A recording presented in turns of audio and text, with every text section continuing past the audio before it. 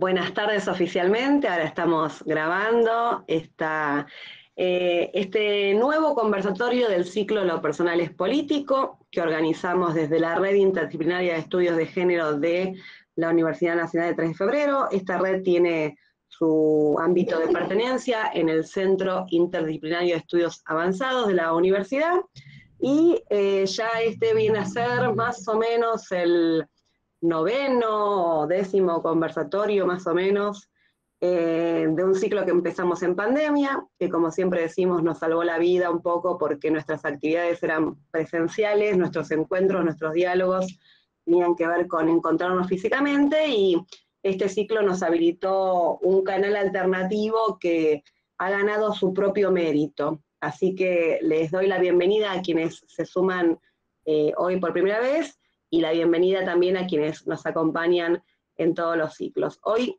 eh, bueno, me presento para quienes no me conocen, mi nombre es María Inés Lagreca, soy la coordinadora de la red, y esta actividad la coorganizamos con las compañeras, en particularmente eh, con eh, dos compañeras que empezaron siendo estudiantes y una, ya egresó, Marina Figueredo y Charlie Antonelle. Charlie nos avisó que llegaba un poquito tarde, eh, y Mari está resolviendo un temita técnico con el link anterior que tuvimos que modificar, así que vamos a esperarlas unos minutitos. El tema de hoy, bueno, eh, la idea era que a Estela la presentara Marina, vamos a ver si por ahí Marina no, llega a, terminar de resolver esto técnico, eh, la voy a presentar yo, pero antes de arrancar, bueno, pensar un poquito o, tener unas pequeñas palabras sobre este tema que nos convoca hoy, que eh, Estela Chardón, que es nuestra invitada, eh, denominó los aportes de la fertilización asistida, de la reproducción asistida a la diversidad familiar. Cuando la invitamos a Estela, le contamos que este espacio, el ciclo Los Personales Políticos, viene trabajando con temáticas que tienen que ver con ese lugar de lo personal que se vuelve político o de lo personal que se descubre político o de lo político que tiene también aspectos muy íntimos, muy personales, que cruzan eh, las investigaciones y los activismos del feminismo, de eh, los movimientos de la disidencia sexual, LGTBIQ, eh, de las miradas disidentes sexogenéricas, y en ese cruce y hemos estado pensando varios temas. El año pasado tuvimos unos conversatorios donde fundamentalmente nos fuimos dedicando a pensar eh, las identidades casi en un sentido literal, pasamos por lo de LGTB, hablamos con activistas de la, del activismo gay, lésbico, hablamos del de, eh, activismo trans, tuvimos la suerte de tener a Alba Rueda, subsecretaria de Políticas de Diversidad Sexual del Ministerio, el día mismo que se sancionaba el grupo laboral travesti trans en el Poder Ejecutivo. Tuvimos la posibilidad de hablar de bisexualidad, de identidades no binarias. Eh, y este año ya nos fuimos abriendo otras temáticas menos literalmente parte de las letras de lo LGTB. Empezamos hablando de feminismos negros y marrones, estuvimos hablando de cruces entre activismo y academia y escritura. Tuvimos el último conversatorio con Lucho Fabri que estuvo bárbaro sobre eh, masculinidades, o sea, cómo lo que tiene que ver con lo personal y lo político, aunque es un lema que claramente nos remite a el feminismo, es un ámbito más amplio que un ámbito para pensar exclusivamente de interés de las mujeres o exclusivamente de interés de los feminismos y más ampliamente de interés de todas las personas que tenemos un cierto diálogo, monólogo interior, indagaciones, preguntas sobre lo identitario, sobre lo sexual, sobre lo genérico y sobre este mundo que descubrimos cuando hablamos de que lo personal es político como un mundo que tiene una cierta organización social de los cuerpos, de sus roles, de sus posibilidades, y tiene ciertas claras desigualdades estructurales, eh, injusticias, Y es ahí donde se cruzan las cuestiones, no solamente qué me pasa a mí individualmente con mi género, mi sexualidad, mi sociedad de pertenencia, sino qué tipo de articulación colectiva para pensar y para hacer podemos eh, proponernos sabiendo que como el género no es algo de una sola persona, sino que es una manera de pensar los cuerpos, bueno, eh, esas maneras de pensar podrían haber sido distintas, tienen que ver con las eh, distintas contingencias históricas, pero también tienen que ver con lo político en términos de el tipo de sociedades que queremos construir, que sean más inclusivas, menos violentas.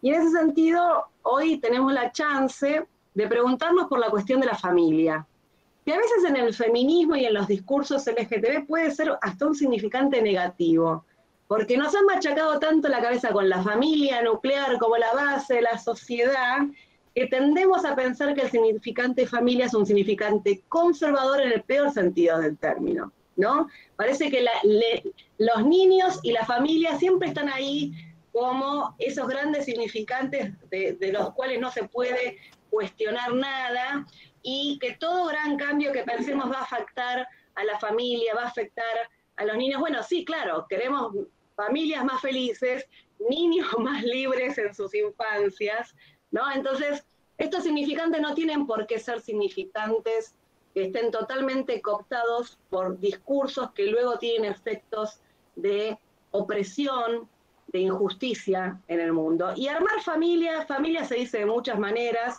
no nos teníamos que juntar todos hoy para saber que hay muchas maneras de hacer familia, pero esto no significa que no haya cierto tipo de discurso hegemónico o de discurso de, de aculturación donde se piensa la familia de una manera reducida. Reducida, por ejemplo, a la heterosexualidad. Parece que quienes vienen con un derecho natural a ser padres y madres son las personas heterosexuales. Eh, y parece que quienes tienen, eh, parece que las familias tienen que ser siempre con dos personas primero. Parece que de a uno y, y otro no, tiene que haber por lo menos tres.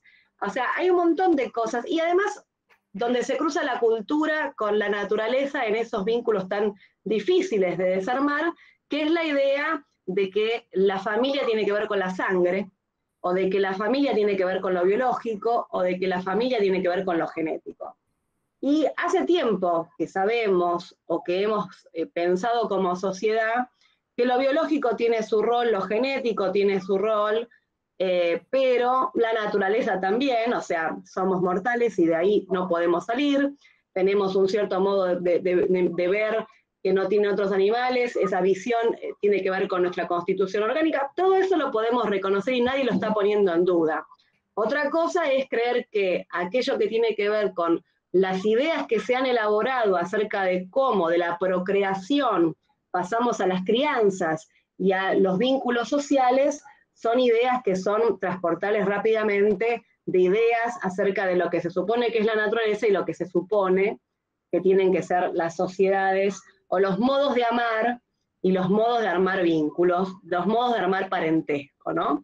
Entonces, un poco nos encontramos hoy, y ahora esta introducción era originalmente así, pero la alargué un poquito para que pudiéramos terminar de, de resolver lo técnico, eh, igual puedo estar tres horas hablando, ya me conocen, pero toda esta introducción es para eh, plantearnos hoy una, un tema para el cual hemos convocado a Estela, que es el tema de este momento tan actual, por lo menos de los últimos 30, 40 años, que es el momento histórico en el cual hay ciertos desarrollos científicos tecnológicos que permiten potenciar la diversidad familiar que siempre existió. ¿Y por qué digo potenciar? Porque tenemos posibilidades de elegir formar familia que en otro momento quizá no hubiéramos tenido y que tienen que ver con esta alianza positiva, no por eso no problemática, con el desarrollo científico-tecnológico de nuestra época. Entonces, con esta introducción, ahora sí, eh, dejamos abierto el tema y le doy la palabra a mi compañera, Marina Figueredo, eh, para que presente Estela y iniciemos la parte de la entrevista. Gracias, Maru. Bueno, después de todas las dificultades técnicas, buenas tardes a todos. Eh, bueno, eh, un placer volver a encontrarnos una vez más acá en lo personal es político. yo soy Marina, moderadora de este espacio, miembro de la red de género de, la UNTREF.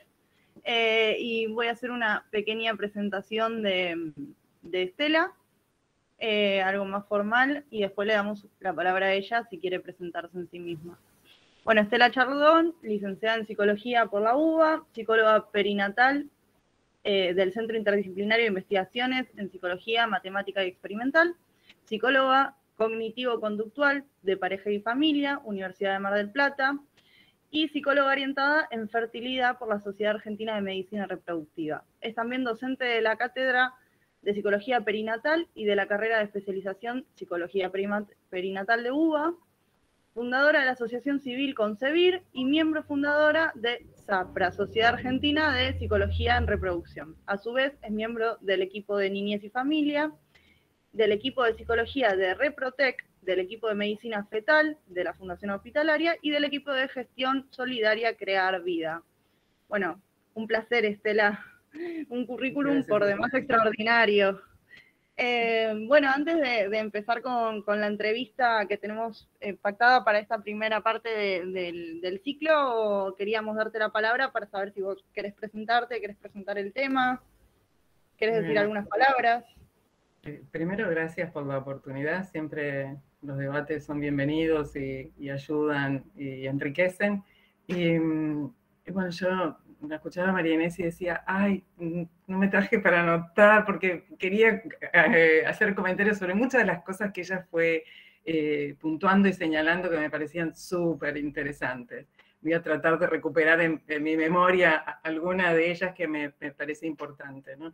Eh, me quedaba obviamente lo personal es político y, alguna referencia voy a hacer en relación a esto.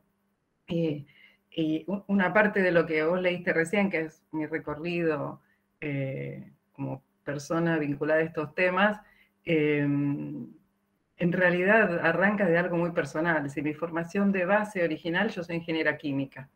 Eh, yo soy ingeniera química, trabajé como ingeniera química durante muchos años en el área de petróleo, hasta que, hasta que algo personal me movilizó. Eh, no debe ser muy difícil imaginar, bueno, algo tenía que ver con la reproducción.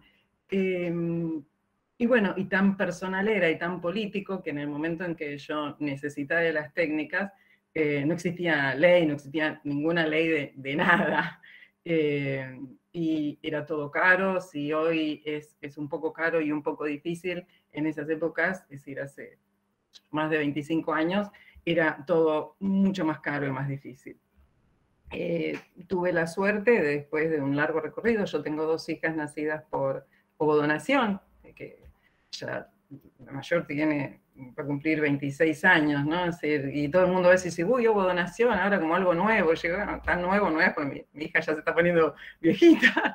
Eh, pero yo tenía la sensación de que, bueno, que, necesitaba, necesitaba devolver en parte todo lo que yo sentía que había recibido. Eh, y siempre digo, como, como muy ingeniera, hice todo un plan de lo que quería hacer, que implicaba yo, siempre hago este chiste, digo, como ingeniera yo no iba a manejar sin licencia, por lo tanto dije, lo primero que tengo que hacer es estudiar algo que tenga que ver con esto, me puse a estudiar, eh, después dije, ¿qué es lo que está faltando en la Argentina, además de una ley? Era un grupo de personas que, que, que pudiera acompañar este proceso, y ahí tuve la suerte de encontrar a a Isabel Rolando, que fue presidente de Concebir durante muchos años, y juntas y, con otras personas iniciamos esta primera idea que era, bueno, vamos a luchar defendiendo los derechos reproductivos, ¿no? Y acá vos, vos hablabas de, de los significantes que tienen una connotación negativa las técnicas de reproducción. En esa época tenían una connotación espantosa, es decir, la equiparaban prácticamente a una cirugía estética, era como, como si uno recurriera a las técnicas. Y otra cosa que era muy impactante, por eso cuento un poco la historia, porque me parece que, que enriquece, es que el origen era absolutamente heterosexual. Es decir, obviamente, ¿por qué surgen las técnicas de reproducción? Para resolver el problema de infertilidad de quiénes, de las parejas heterosexuales. Eh, por eso digo, es paradójico y es maravilloso haber tenido la oportunidad a lo largo de mi vida de, encontrarme con este proceso de transformación donde las técnicas hoy en día son fuente de diversidad. Es decir, arrancamos de, dos representaciones ultraconservadoras, como vos decías, que es la familia y la heterosexualidad, y llegamos en, este tiempo, que, en realidad, si uno lo mide, no es tanto, ¿no? Em, a, las técnicas, al reconocimiento de los derechos reproductivos de todas las personas, de todos los formatos familiares, como vos bien señalabas, ¿quién dijo que tiene que ser una pareja? ¿Quién dijo que tiene que ser heterosexual? Pero bueno, ahí nos encontramos con las dificultades reproductivas y que las técnicas las vienen a resolver. Pero bueno, lo que en sus inicios era, era algo eh, muy limitado, fue creciendo y se fue ampliando. Fueron muchos años de lucha hasta que se consiguió una ley. En el proceso de conseguir la ley, yo fui testigo también de estas, estas diferencias ¿no? entre las parejas heterosexuales infértiles y aquellas otras personas que reclamaban por los derechos reproductivos en sí mismos, ¿no? Eh, ampliando esta, esta visión de lo que se llamaba la cobertura universal o el acceso universal a las técnicas, que implicaba esto, ¿no? El acceso de la diversidad. No fue fácil, no fue fácil.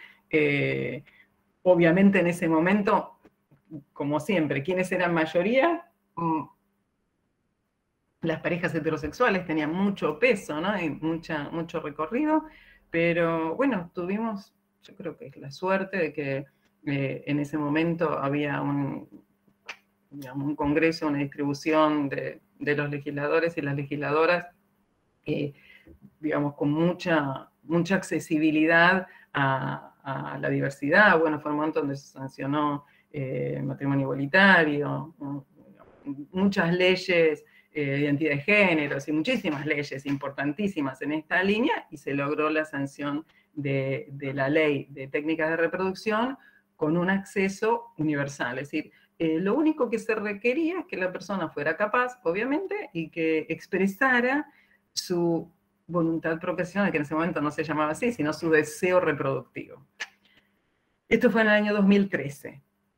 En el año 2015, eh, otro logro enorme, importantísimo, pero como todos los logros siempre son peleados, difíciles y, parciales, eh, se modifica el Código Civil y se incluye una forma adicional de filiación, además de las dos ya conocidas, que eran la biológica y por adopción, y se incluye la afiliación por técnicas. Y ahí se introduce este concepto de la voluntad procreacional. Entonces, ahí hacemos un corte ya definitivo, ya ni, ni, con el formato, ni con el vínculo biológico, ni genético. Es decir, lo que determina la afiliación es la voluntad expresada por la persona de, de reproducirse, de tener una familia eh, y de acceder a un tratamiento.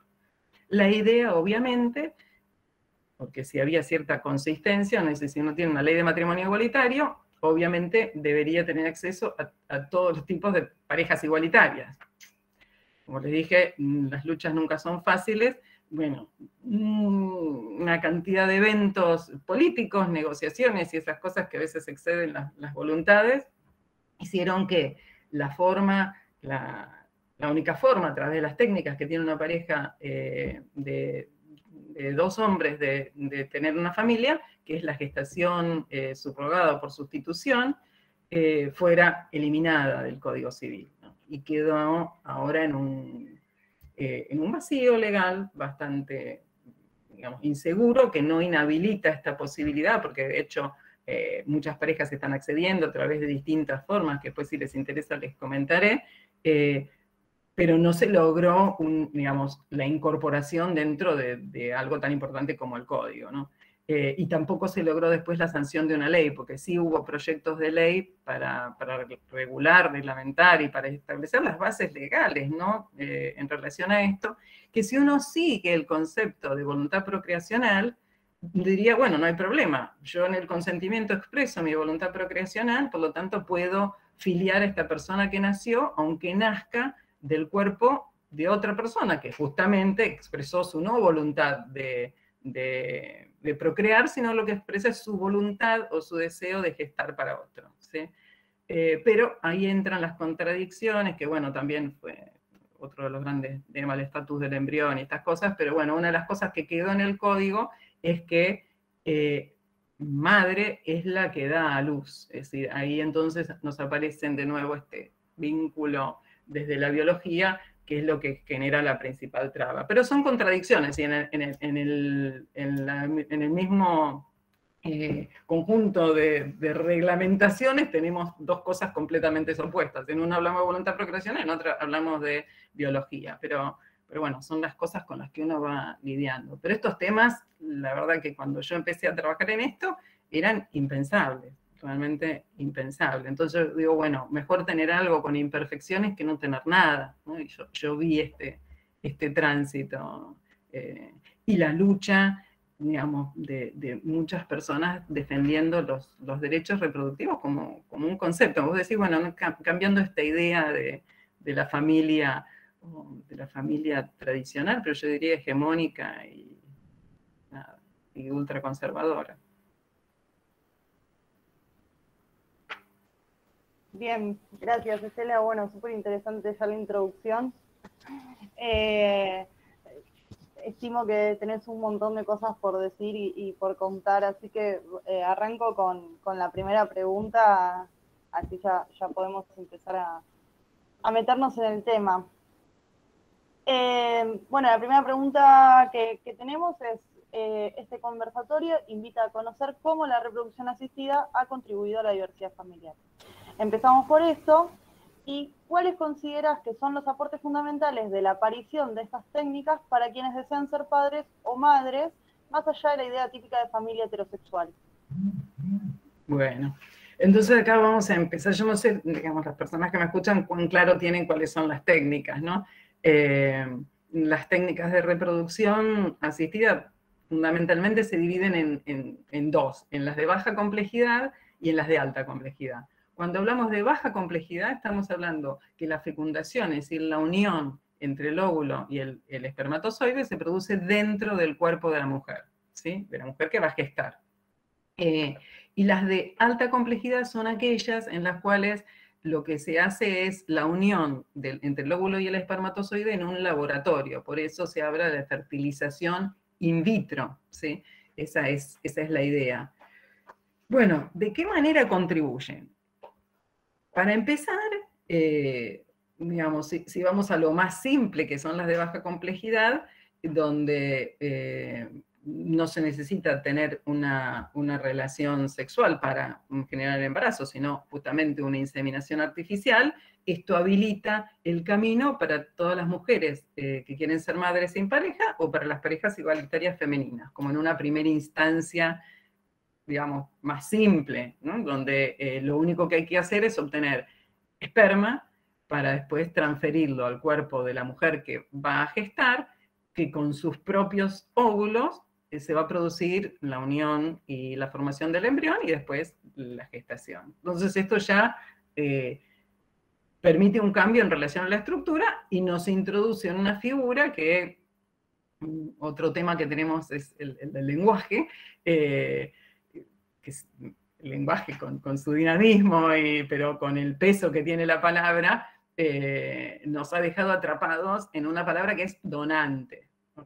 donante eh, pues inicialmente los donantes de esperma eran donantes, eran personas que aportaban sobre todo por un interés científico su esperma. Rápidamente, esto, las primeras donaciones de esperma son eh, del año 1800, es decir, muy, muy, muy antiguas. Por eso habla del, interés científico, estaba estudiando todavía mucho de la reproducción, pero después con el tiempo se transformaron en lo que yo llamo, se deberían llamar aportantes de esperma, ¿sí? Porque si yo recibo una compensación económica, no soy donante. El concepto de donación eh, acá entra en crisis. Eh, entonces, eh, se introduce esta figura que es, digamos, son las personas que vendrían a complementar esta falla estructural, digamos, desde la biología, si yo necesito siempre una gameta femenina y una masculina, cuando me esté faltando una de ellas, bueno, alguien puede venir a aportarla. Y lo hace de qué forma, acá también, eh, las primeras eh, inseminaciones eran con esperma fresco, ¿sí? ya después eso a través de los bancos se vio que se podía preservar, se podía mantener, hoy en día, por ejemplo, una de las grandes ventajas que tienen los bancos de gametos, en el caso de, la donación de esperma, eh, es que, eh, por ejemplo, para personas que tienen HIV, primero, uno con, la posibilidad de, de, preservarlo, uno tiene la ventana para evitar el contagio eh, y para volver a chequear la persona que dona. Pero también en el caso de aquellas personas que, están enfermas de HIV, como la, célula, digamos, lo importante de la célula, eh, em, se, puede, se puede realizar un lavado del esperma para obtener el, espermatozoide puro y hoy en día existe reproducción de personas que, tienen HIV y sin ningún problema. Y desean, por supuesto, porque ustedes ya saben que pasó de ser una enfermedad considerada mortal a ser una enfermedad crónica hoy en día. Entonces, eh, ¿por qué lo mismo que pasa con el cáncer? ¿no? ¿Por qué pensar que una persona que tiene cáncer, una persona que, mm, se contagió de HIV, eh, no puede tener el deseo de formar una familia? Y hoy en día las técnicas, por ejemplo, esto lo, lo permiten. Eh, entonces esa fue una primera instancia. Después la, segunda instancia, eh, digamos, la, técnica de fertilización in vitro con el primer nacimiento en el año 78, eh, por supuesto que fue un avance enorme para las, eh, para las parejas heterosexuales, pero también habilita, digamos, e, el uso o la aplicación de esta técnica en, algo que se llama método ropa, que es un método que utilizan a veces las parejas de mujeres cuando quieren compartir, y acá empezamos de nuevo, muchas cosas yo creo que hay que deconstruir. Yo les voy a decir lo que pasa, pero después les voy a decir lo que yo pienso, ¿no? Porque yo creo que aún dentro de la diversidad, estas estructuras, estas maneras de pensar, eh, tan atadas, tan impregnadas de lo biológico y de lo genético, no se terminan de desarmar. No es tan fácil. A veces cambiamos el formato, pero, pero estas remanencias quedan dentro de, no sé, eh, algo como muy primitivo de la sociedad, ¿sí? no, no, desaparecen. Entonces, por ejemplo, puede ocurrir con una pareja de mujeres, eh, desean eh, aportar cada una algo, ¿sí? Entonces una dice, bueno, yo deseo gestar y la otra dice, yo deseo aportar mi ovocito. Entonces pueden recurrir eh, a una técnica de alta complejidad que se llama método ROPA, que es el método eh, de, donación de, la, en realidad no es una donación, ¿no? Eh, es del uso del ovocito de la, de la propia pareja y se hace una, se hace una técnica de reproducción de alta complejidad y se transfiere el embrión, por supuesto con esperma de, de un donante, eh, al, útero de la mujer que va a gestar. ¿sí? Y por supuesto que eh, la fertilización in vitro, a través también de, de, lo que es la gestación subrogada, donde ahí ya incorporamos el, el, el útero de una persona que desea gestar para otros, eh, permite, por supuesto, el acceso a, la paternidad de las parejas masculinas. Eh, bueno, vemos que de distintas formas nos mm, permite facilitar. Tenemos acá el tema de, los donantes eh, y las donantes, que, como les dije, debían ser llamadas aportantes de, gametos. Y por supuesto que hablando de, cuestión de derechos, aparece un derecho de, quienes todavía no nombramos, que son las personas que nacen de las técnicas. Entonces esto fue otro gran motivo de lucha en, la Argentina. Tengo que decir con mucho orgullo que la Argentina tiene en este sentido un, una legislación comparable a, los países líderes en, estos temas en el mundo. Eh, y cuando hablo de líder, hablo líder en relación a la, a, la protección de derechos, no líderes en, los aspectos comerciales, porque donde, cuando más comercial se hacen las técnicas de reproducción, más espantosas son las leyes, eh, menos derechos se defienden o se protegen. Y, y, bueno, en relación a los derechos de las personas nacidas, un derecho básico es decir, bueno, si yo nací gracias a esta técnica, gracias al aporte de gametos de otras personas, o nací gracias al útero de alguien que quiso gestar para, mi familia, es un derecho personalísimo, es un derecho humano central, si yo quiero acceder a, la información mínimamente, ¿sí? Mm. Y este es otro motivo de enorme discusión, porque las primeras donaciones o aportaciones de gametos eran anónimas. Entonces acá surgió otro enorme problema eh, que generó también muchas críticas de, distintos eh, ámbitos académicos eh, que estudiaban esto y decían, bueno, acá hay un derecho vulnerado, o sea, el derecho de estas personas a acceder, y sobre todo porque además que no había protección de la información, el discurso que venía desde la medicina sobre todo, no desde la psicología, en este tengo que aclarar que la psicología siempre se, se opuso bastante, era, no es necesario, esto queda entre nosotros, ¿qué importa? Si total, no, hablando de la gestación por sustitución, obviamente, sino en todos aquellos casos donde se veía un, embarazo, decía, nadie va a preguntar, a nadie le interesa. Esto, por supuesto, sinceramente, eh, a mí en lo personal me parecía aberrante, fue parte de, mi lucha personal durante mucho tiempo, eh, porque sobre todo sentía que en la Argentina, con la, experiencia que, tuvimos en, de lo que pasó en la dictadura militar, eh, decir, bueno, un avance de la medicina no, no puede estar eh, borrando, eliminando algo que nos costó tantas vidas y tanto sufrimiento que sea reconocido. Así que em, eliminar este, el, tema del anonimato no es en la Argentina, es en el mundo. En el mundo hay países que tienen leyes donde se reconoce el derecho de las personas a acceder, decir, que no existe el anonimato, y países donde sí existe el anonimato. Eh, es un debate que han sostenido quienes, las personas nacidas que en algún momento vieron afectada eh, o vulnerada su identidad por estas eh, normas o por estas prácticas.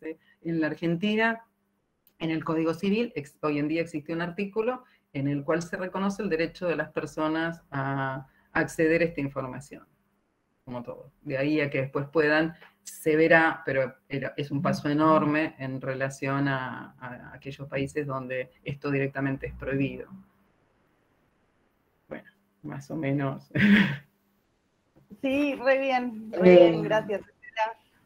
Mari, antes de hacer la segunda pregunta, le quería hacer un comentario eh, solo por algunas cosas que venimos aprendiendo, ¿no? Porque un poco en el ciclo, en el conversatorio y en la red, eh, admitimos que hay mucho que todavía tenemos que, incorporar y que pensar respecto a ciertos hábitos que tenemos y uno de esos hábitos es por ahí hacer un recorte, como llamaríamos, si sexista, de, los fenómenos que cuesta mucho y me pareció simplemente que por ahí podía ser eh, bueno señalar que eh, si hubiera una persona trans conversando, diría, bueno, eh, en, el, caso de incluso de la inseminación artificial, no necesariamente es la mujer la que va a gestar, porque ahí aparece la cuestión de que tener un cuerpo con útero puede no significar ser una mujer, sino ser un varón. Completamente de acuerdo. Igualmente, no me metí justamente en lo que son las más paternidades trans,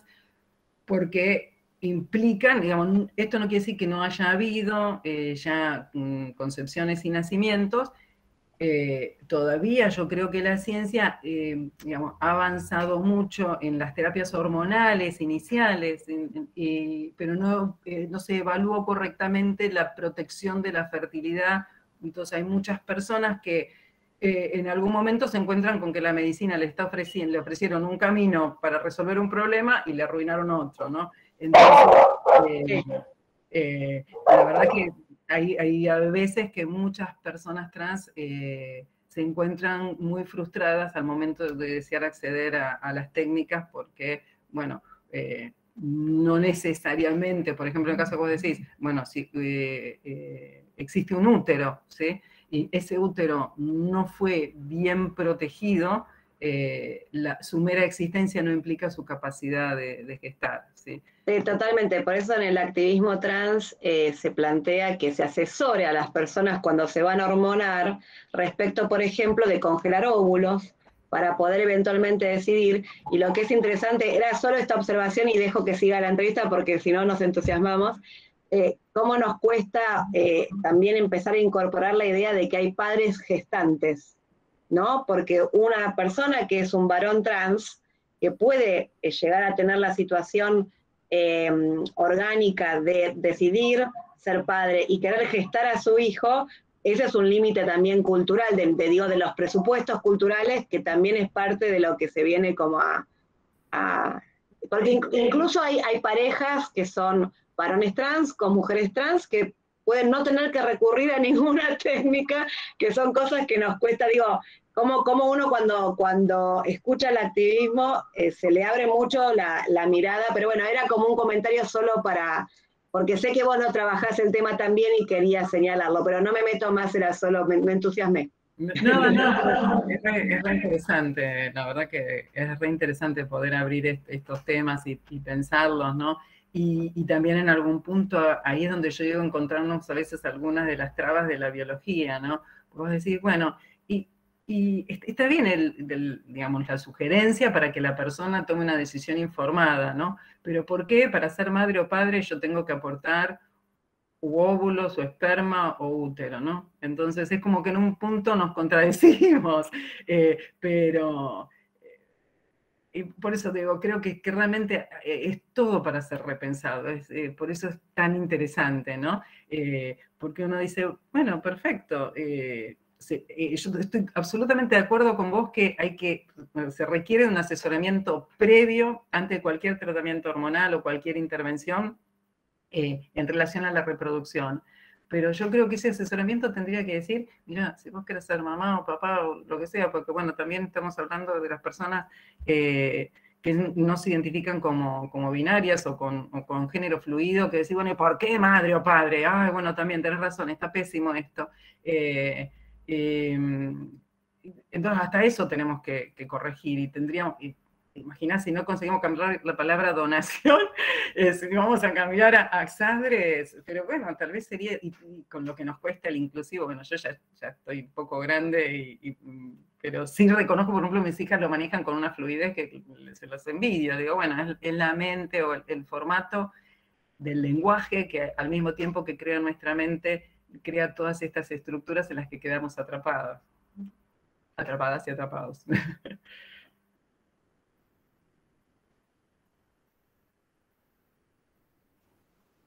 Bien, yo retomo un poco el tema de, la cuestión etaria que decías recién, Estela, para decirte que el sindicato de las veinticiañeras no está de acuerdo con que le digas viejita a tus hijas. Porque te escuché al principio y dije, esto lo tengo que remarcar, de ninguna forma te lo voy a permitir. No, porque esta cosa, me encanta, me encanta. Viste, cuando todos dicen nuevo, yo digo, para mí lo, lo único muy nuevo es un bebé recién nacido, porque ya después todo empieza a tener como el auto cero kilómetros, ¿viste? Entonces yo digo, ya está grandecita, ¿viste? médica, residente, ¿viste? Que, que, sigan diciendo las nuevas técnicas, los nuevos formatos. Yo de ahí me río y le digo, ¿saben qué? Digo, ¿qué tiene de nuevo la madre soltera por elección? Digo, en el mundo las, las mujeres se han criado solas, pero desde, no sé, desde la prehistoria, desde la Edad Media. digo, ¿me explican la novedad de las madres solteras por elección? Eh, bueno, tiene que ver un poco con negar la historicidad de, las mujeres también. Obviamente, obviamente, nada, nada es casual ni ingenuo. Totalmente, totalmente. Bueno, eh, vamos con la segunda pregunta. Y dice, eh, las técnicas de reproducción asistida no solo permiten ampliar el horizonte de proyectos de familia, sino que permiten a personas con distintas situaciones de infertilidad lograr tener hijos o hijas. ¿Crees que la infertilidad es un tema enclosetado en nuestra sociedad? ¿Hay tabúes, mitos o prejuicios contraproducentes al respecto? la verdad que, a ver, retomo, hace 30 años era una cosa y hoy en día no es lo mismo, pero siempre se habló del tabú de la, de la infertilidad. Y los principales tabúes en relación a la infertilidad tienen que ver, pensándolo desde el concepto de tabú, tienen que ver con la, la heterosexualidad. Y ahí aparecían un montón de mitos, eh, montones de creencias, ¿no? Eh, la primera creencia eh, bastante infundada era como que necesariamente mm, dos personas que, tenían relaciones sexuales eran capaces de generar un, un embarazo. demostrado está, y además, mm, yo siempre digo, ya algo que algo esté en la Biblia me habla de que es un problema de, la humanidad, ¿sí? Porque no puedo encontrar una referencia más antigua, porque, bueno, no sé tanto de, de otras culturas, eh, seguramente eh, debe aparecer en algunos otros manuscritos, algunas otras tradiciones, esta problemática, ¿sí? Eh, entonces, la verdad que la infertilidad fue un problema de siempre. ¿Qué, ahora, ¿qué pasaba? Adivinemos, ¿quiénes pagaban las consecuencias de la infertilidad? Las mujeres, obviamente. La mujer era la que era expulsada, la mujer era la que era rechazada. ¿Por qué? Porque, porque la mujer era la, evidencia, nada más por eso también esta cosa del, Código Civil, que bueno, madre cierta es y que madre es la que pare, como que lo único que tenían cierto era eh, que la persona que había gestado y dado, a luz eh, era, era fértil. Obviamente, en, esa época eh, eh, todavía era imposible mm, entender o imaginar que en el eyaculado podía no haber espermatozoides, es decir, nada, se hablaba de había eyaculado, se suponía que ahí debía haber algo que ayudara a generar el embarazo. ¿sí? Bueno, hacía falta tecnología para, para aprender que esto no era así. Entonces, uno de los principales mitos y algunos de los principales prejuicios y una de las cosas que generaron esto como tabú es que se hacía una asociación, digamos, cuando se entendió que, tal vez el hombre era el que podía no embarazar, eh, se tendía a pensar o asociar a la infertilidad con impotencia. Es decir, eh, y ahí entonces saltan todo mm, el activismo machista, digamos, a defender a, la hombría y la imposibilidad de que esto ocurriera, y entonces se ocultaba, se ocultaba como con vergüenza, por eso la idea de, tabú, ¿no? Como, como, esta imposibilidad de procrear como algo que atentaba contra la virilidad pública, esta, este hecho.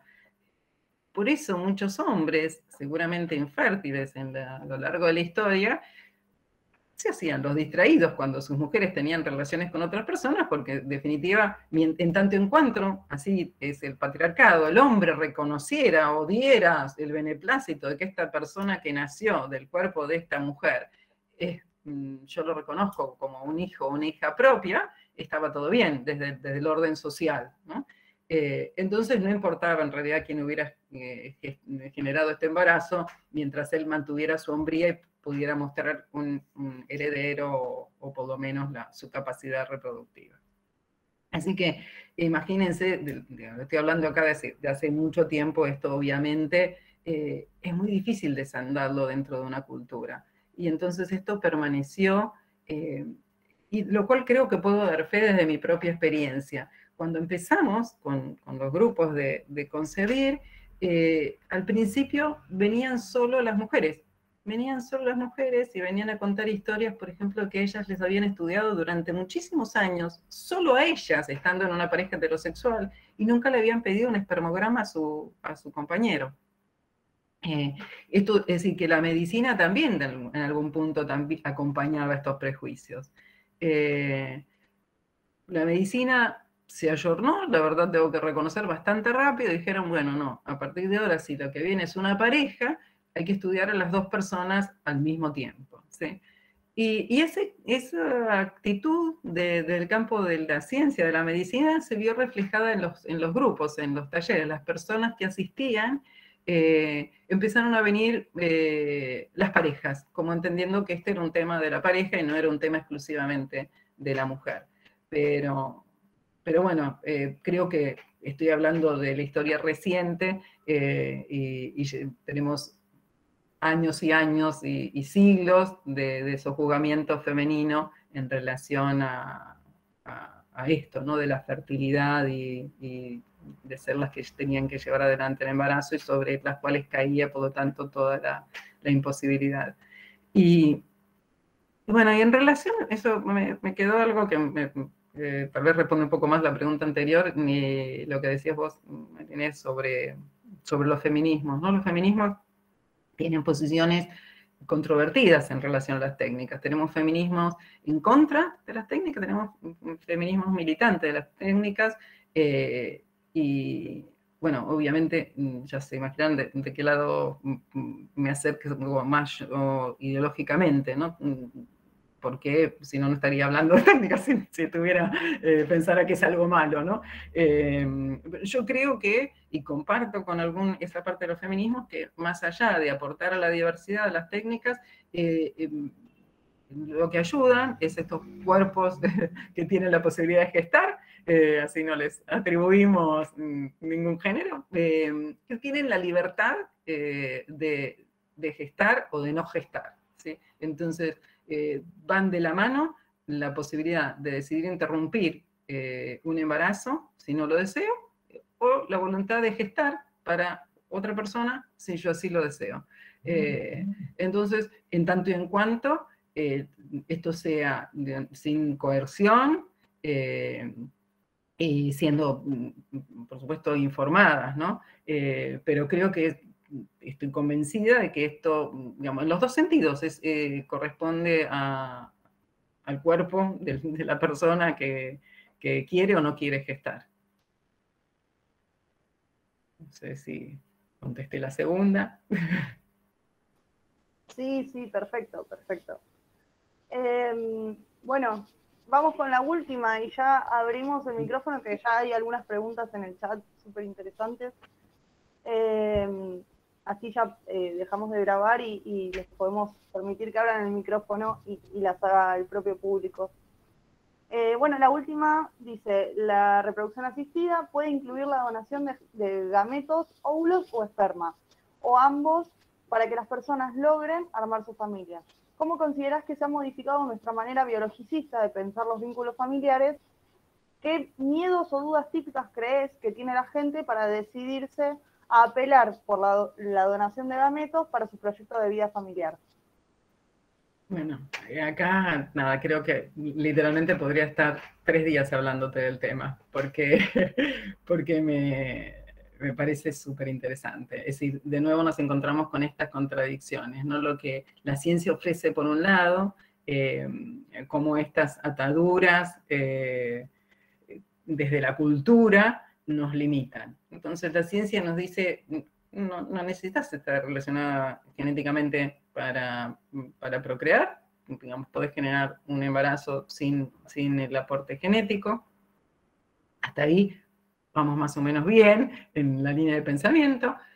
Discuto bastante esto que no son donantes, sino que son aportantes de gametos, de nuevo desde la libertad de los, de los cuerpos, de decidir qué hago con mi cuerpo, con partes de mi cuerpo, eh, recuperando esta cuestión de la identidad en relación al compromiso, la responsabilidad en relación a las personas que nacen con, producto de estas técnicas.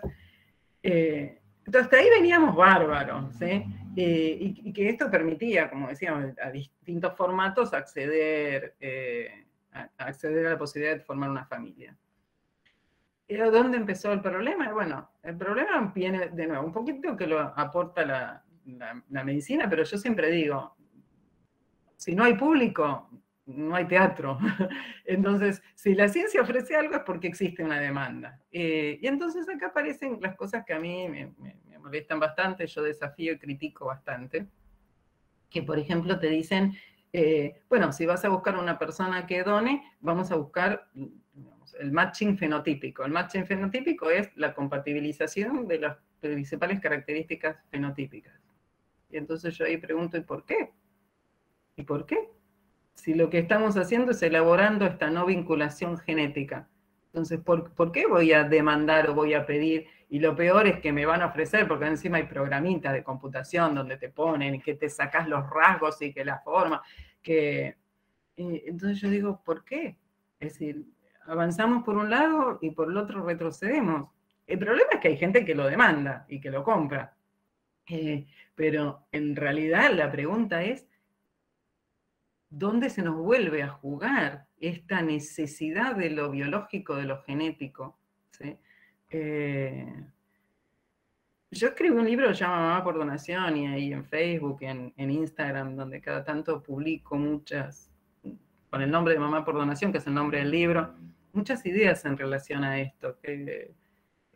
Trato de darle un formato como para ver si llego a la gente y, me van entendiendo. Muchas veces planteo esto, ¿no? ¿Qué se pierde cuando se pierde mi genética? ¿sí? Eh, ¿Qué se pierde? ¿Qué pierdo realmente? Porque, porque ni, bien nos ponemos a pensar, la verdad que lo que estamos perdiendo es, es como eh, una fantasía, es una ficción, es una ilusión de continuidad. Y entonces acá de nuevo nos cae, pero llego, nada, otra que la monarquía, ¿no? Esta idea de, la descendencia, del quedar, de la prolongación de mí mismo, que va en contra de toda esta representación de, de, las, de los nuevos formatos de familia. Estamos hablando de familias donde se eligen, donde la genética no, no, implica nada. Yo muchas veces digo, bueno, si la genética fuera garantía de algo en, en, lo vincular, en lo afectivo, en las construcciones de, de las familias, no habría, no habría abuso, no habría maltrato, no habría daño, no habría todas las cosas que sabemos que ocurren en las familias. ¿sí? Y de nuevo, ¿y qué, qué, es ser madre? ¿Qué es ser padre? Yo, eso no, no es un espermatozoide, un óvulo o un útero. ¿sí? Porque, hay muchas personas que, bueno, sabemos padres, madres que, hacen daño, pero además padres, madres que, que, no fueron nada en la vida de algunas personas y te dicen, tal persona eh, fue como mi mamá, o incluso algunos lo dicen, incluso eso se, se veía mucho más con la palabra padre, ¿no? Que te dice, bueno, un hombre embarazó a mi mamá, eh, nunca aparecía en la vida, mi mamá después formó una, una pareja con un compañero, y él para mí es mi papá, te dicen. Eh, entonces yo digo, eh, madre y padre son títulos que hay que ganarse. Si quieren le cambiamos, le ponemos padres, pero, pero no importa lo que sea, es un reconocimiento inverso. No es de arriba hacia abajo, es de abajo hacia arriba. Es decir, no es que va a tener mi óvulo, no es que va a tener mi, forma de ojos, mi color de, de piel, mi tipo de cabello. Ser madre o padre te lo vas a tener que ganar al revés, ser reconocido. Todo lo contrario de lo que, que pasaba en las culturas, ¿vieron los romanos que iban y estaba el bebé ahí, lo agarraba y bueno, o, lo incorporaban a la tribu, es al revés. Eh, yo te voy a elegir como mi tribu, pero, desde quien nació.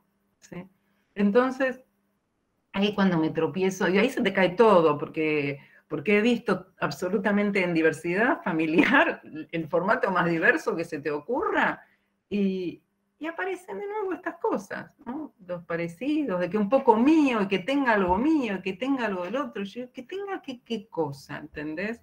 Y ahí, ¡pum!, nos tropezamos con la genética, con la biología, con el fenotipo. Eh, porque, porque después hay otras cosas, me decir, bueno, qué sé yo, los talentos, por ejemplo, las habilidades, que es algo que a veces le preocupa mucho a las personas, ¿no? El oído musical, la, coordinación motriz, la habilidad para, hacer arte, eso, que son talentos, que dentro de la variabilidad genética hay personas que lo tienen y otras que no. Después, por supuesto, en la interacción con el ambiente, esto se refuerza o se pierde. Entonces, cuando vemos esas familias por ejemplo, de músicos, y uno dice, bueno, habrá un componente eh, genético que tiene que ver con, la capacidad auditiva, pero después también hay un componente, si yo me crié escuchando música o viendo a mi familia hacer música, bueno, voy a estar muchísimo más incentivado o no. Entonces ahí encontramos toda la familia de, músicos, de médicos, de abogados, y uno rebelde que dice, no, esto es una porquería, me tiene harta todos, ¿por qué tenemos que estar todos cortados con la misma tijera? Yo quiero ser diferente, ¿sí? Entonces, desde donde lo quieras mirar, cuando pensás diversidad, no podés caer en la trampa ni de la genética ni de la biología. Va en contradicción absoluta.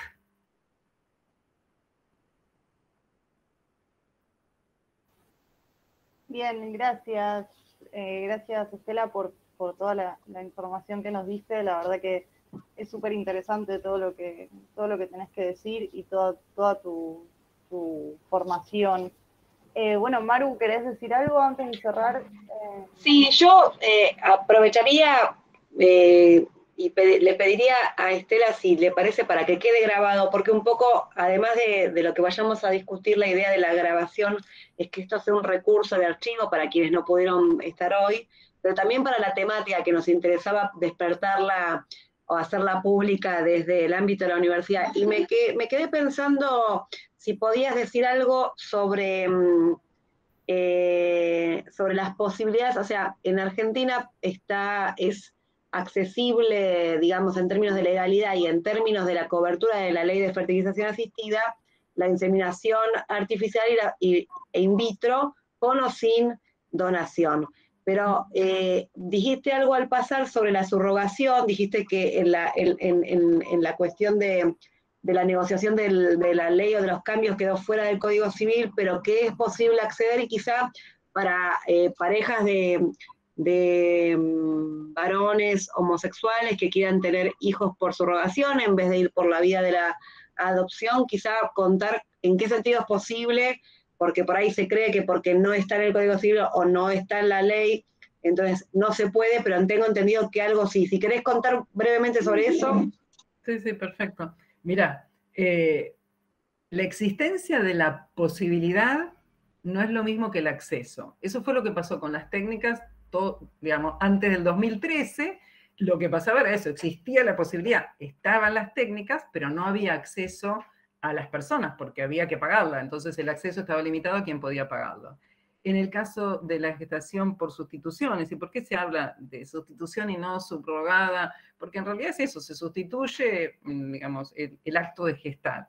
Eh, quedó en la misma situación y se fue excluida del Código Civil, pero quedó en la misma situación que las, técnicas de reproducción antes del 2013, si no estaban ni prohibidas ni reguladas. Entonces, eh, cuáles son las formas, es decir, durante bastante tiempo eh, para hacer eh, una gestación por sustitución había que viajar a, aquellos países que, lo habilitaban. Entonces, por lo tanto, súper recontra exclusivo. Ustedes verán, bueno, en el caso de famosos, de personas con, con alto poder adquisitivo, eh, que, que, lo realizaban en otros países. ¿sí? Y, después ahí venía el tema de la inscripción, no, no, voy a entrar en detalles, pero bueno, enormes conflictos internacionales según la forma de reconocimiento de la nacionalidad de aquellas personas que nacían en otros países, eh, no lo reconocían la nacionalidad, por ejemplo, de, los padres o las madres. Entonces, bueno, nada, conflictos internacionales súper complicados, la Argentina eh, no tenía nada y tampoco, y había como mucho temor por parte de, los médicos especialistas en reproducción acá de meterse en, este tema básicamente por la cuestión filiatoria. Creo que el Código Civil y la sanción de todas estas leyes ayudaron a generar esta idea de la voluntad procreacional y entonces empezó a habilitar en la Argentina y hoy en día es posible realizar el tratamiento de gestación en la Argentina. Pero no es lo mismo que tener acceso, por eso te decía, no es lo mismo que decir, hay que pagarlo. No es lo, no es lo mismo pagarlo en la Argentina que pagarlo en Estados Unidos. pero igual sigue siendo restringido. Y hay dos formas. Eh, la primera eh, es a través de la intervención de un juez eh, en, el cual, bueno, uno tiene que hacer la presentación, hacer la solicitud, eh, explicando los motivos. Por supuesto, si es una pareja de, dos hombres es más sencillo, si es una pareja heterosexual, muchas veces eh, puede ser porque, porque no está el útero por una intervención médica, por una enfermedad, por una enfermedad genética, no sé, miles de causas, hay que explicar cuál es la causa, hacer todo el trámite y lograr la aprobación del juez. Bueno, como cualquier cosa en la justicia, también dependía que juez, digamos, tomaba eh, esta presentación. Hubo algunos fallos iniciales donde no, se logró. A medida que cada vez va habiendo más fallos positivos, esto funciona como jurisprudencia, si son antecedentes positivos, uno dice, bueno, todos estos casos se aprobaron, yo vengo acá y te traigo el mío. No hay ley que siga ahí. Ese es un camino y que resuelve la cuestión filiatoria. Eh, la comunidad LGTBIQ+, acá en Cava, con, una fuerte militancia, eh, presionó para lograr una resolución que, eh, como se hace siempre, cuando no se logra resolver la cuestión de fondo, que es lo filiatorio, se dice, bueno, vamos a resolver lo más sencillo, que es la inscripción. Entonces, lo que se salió una resolución que habilita la inscripción de una persona nacida por una técnica de gestación por sustitución, a nombre, por ejemplo, de dos papás. Entonces van los dos papás inscriben, digamos, en el registro, presentan los consentimientos informados, donde la persona que gestó no manifiesta su voluntad procreacional, sino estas, dos personas, y listo. Esto no resuelve, digamos, porque es algo provisorio, ¿no? Eh, es decir, es una inscripción provisoria eh, hasta tanto se resuelva la cuestión legal. Porque acá de, nuevo vemos la interacción de los poderes, ¿no? Eh, si no tenemos que el Poder Ejecutivo envíe una ley al Congreso o que el Poder Ejecutivo establezca ciertas normas para, para esta práctica, igual la cuestión filiatoria siempre requiere una intervención legislativa o judicial, ¿sí? Eh, entonces, bueno, es como una vía y eso en la ciudad de Buenos Aires es solamente para la ciudad de Buenos Aires, solamente para, no tiene que ver con los requirientes, sino dónde se produce el nacimiento. es decir, que la inscripción sea en los registros civiles de la ciudad de Buenos Aires. Eh, si, por ejemplo, vos tenés requirientes acá con domicilio en Ciudad de Buenos Aires, pero la gestante está en la provincia, el nacimiento no puede ocurrir en la provincia, tiene que trasladarse para acá. Entonces, por eso te digo, existe la posibilidad, pero no todavía el acceso, porque no está la cobertura.